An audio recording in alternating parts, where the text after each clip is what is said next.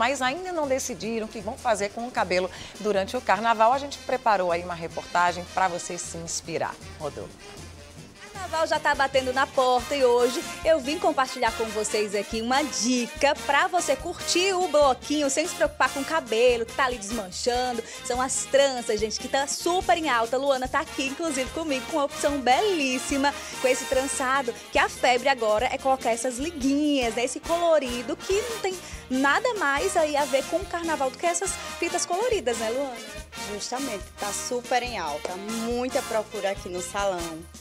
E assim, você fica sempre muito bem arrumada, pronta para curtir qualquer carnaval.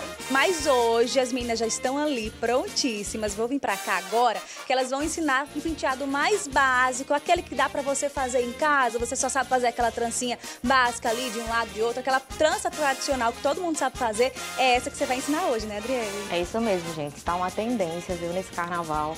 E, gente, é, não é só no carnaval que está acontecendo isso, né? A gente vê que em outros feriados está virando já uma coisa que muitas pessoas estão procurando, né? Não só tranças, né? A gente vai, faz tranças, faz penteados, faz os incrementos, coloca acessórios, pingentes.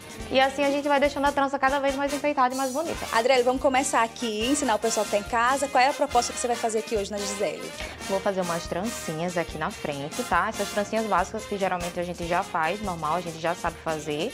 E vou botar uma fitinha e vou fazer um penteado aqui que ela vai poder usar tanto aqui na frente, com a fitinha, né, para dar aquele destaque, como ela pode amarrar aqui atrás e ficar já outro modelo de trança, certo? Então já fica aí dois modelos para a pessoa usar, tá? Então eu, o que é que eu começo? Eu começo dividindo o cabelo da pessoa pelo meio, certo? É, eu faço a divisão aqui pelo nariz. Então eu divido bem bonitinho. E aí eu faço um triângulo aqui primeiro. Depois desse triângulo, a gente dá uma penteada no cabelo. E aí a gente já começa a fazer trança.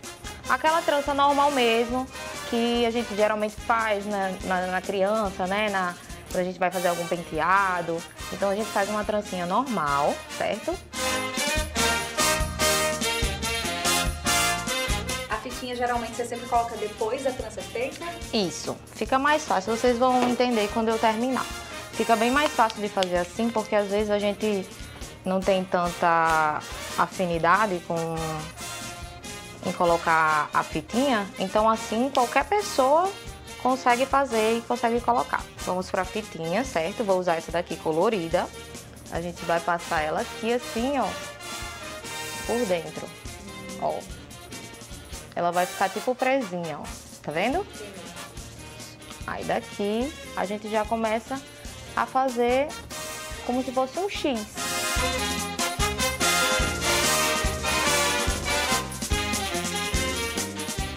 Tem vários acessórios que a gente pode usar nesse tipo aqui, esses coloridos, tá? Que é o que eu vou colocar agora em Gisele.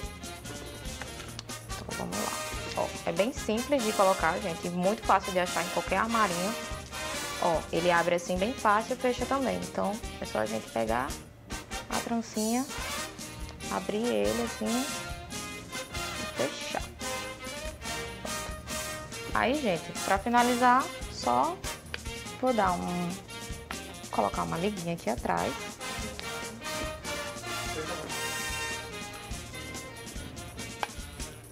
E aí, prontinho. Finalizado esse primeiro penteado, que como vocês viram, dá pra usar tanto assim a trancinha soltinha, quanto presa. Mas se você tá em casa, não quero ficar com o cabelo solto, tá muito calor, né? Quero prender, usar outra opção. Dá pra gente fazer o que nesse cabelo aqui ainda? Dá pra gente usar um acessório que a gente usa desde que a gente era criança. Liguinhas. As liguinhas. Isso mesmo, a gente consegue fazer uns penteados bem legais que eu vou mostrar pra vocês como, tá? Só com a liguinha mesmo. Precisa, é, esse daqui você não precisa fazer trança. E aí, se ela quiser aqui no final colocar alguma outra trancinha, colocar, fazer trancinhas nesse restinho de cabelo, se ela quiser amarrar aqui e a gente fazer também deixar umas fitinhas soltas, isso daí já fica a critério, né, de cada um. Usar realmente a imaginação. Pronto, gente, já finalizei aqui um lado, tá? Assim, não precisa ficar totalmente simétrico, né? Então, podem usar a criatividade de vocês. E aí vou ensinar para vocês um jeito de vocês é, usarem essas fitinhas nesse modelinho aqui, tá? Que aí vocês podem também fazer outros tipos de amarrações fazendo esse estilo. E aí você vai precisar de uma liguinha e vários recortes de fitinhas, tá? Pode ser qualquer tipo, qualquer cor. Quanto mais colorida, melhor. E aí é assim. Você vai pegar assim e vai passar como se como se fosse um U. Aí você vai pegar a fitinha aqui no meio. Não sei se tá dando pra explicar direito.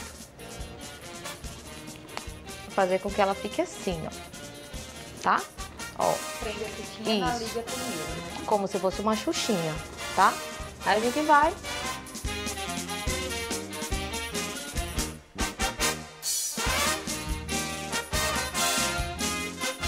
Cabelo finalizado aqui, olha como ficou lindo, gente. Essa opção prática que você com certeza consegue fazer em casa, reproduzir, usar criatividade, né? E arrasar aí na folia. Muito obrigada, né, Adriele? Gisele, já tem pra onde hoje? Já tem bloquinho aí confirmado? Ainda não, mas eu vou procurar, porque com esse penteado, minha filha, eu não posso perder, não.